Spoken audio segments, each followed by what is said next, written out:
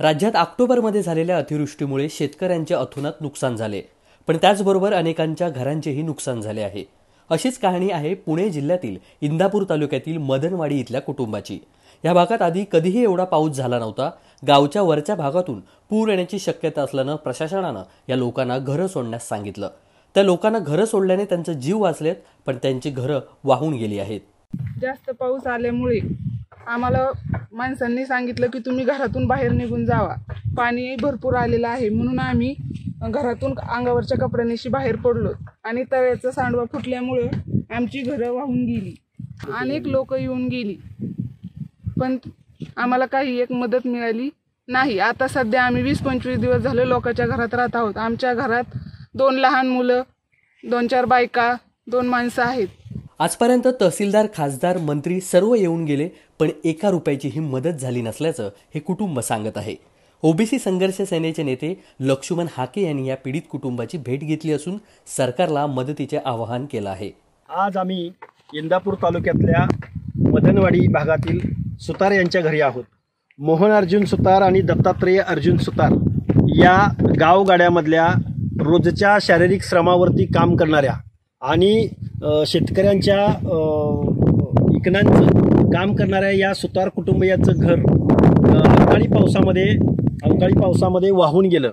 आणि हे वाहून गेल्यानंतर ज्यावेळी इथं पाण्याचा फ्लो मोठ्या प्रमाणात होता त्यावेळी इथं भेटी देणाऱ्या देण्यामध्ये पालकमंत्र्यांसह तसेच या भागाचे लोकप्रतिनिधी सुप्रिया सुळेंसह तहसीलदार वगैरे सगळ्यांच्या भेटी झाल्या.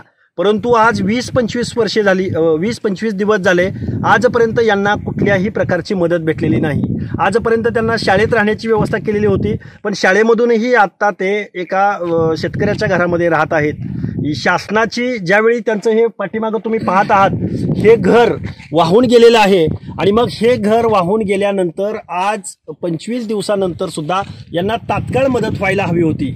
माझी या महाराष्ट्र शासनाचे मंत्री विजय वडेट्टीवार साहेब यांना नम्रतेची विनंती आहे की घर वाहून गेल्यानंतर तुम्ही पंचनाम्याची किंवा इतर कुठल्या रिपोर्टची वाट कशासाठी पाहत आहात यांना तात्काळ मदत मिळण्याची आवश्यकता आहे. कारण आज रोजी या सुतार कुटुंबियांचं घर आज रोजी इतरांच्या घरामध्ये यांच्या घरामध्ये लहान मु- मुलं आहेत.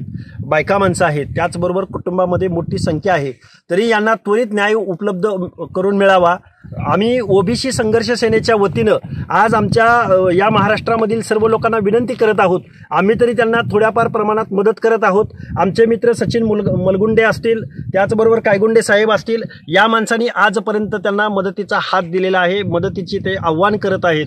या सगळ्या लोकांनी त्यांना मदत करण्याचा प्रयत्न केलेला आहे. परंतु मायबाप सरकार मायबाप सरकारला आमची अशी विनंती आहे की घर वाहून गेल्यानंतर तुम्ही कशा पद्धतीचा पंचनामा आणि क- कुठल्या रिपोर्टिंगची वाट पाहत आहात?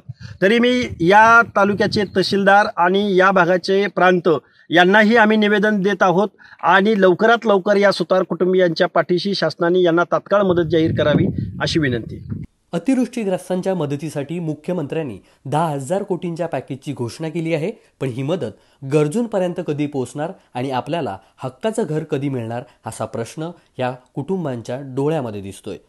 मॅक्स महाराष्ट्र पुणे.